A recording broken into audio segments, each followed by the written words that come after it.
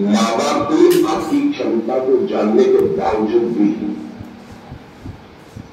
अपने social status के कारण,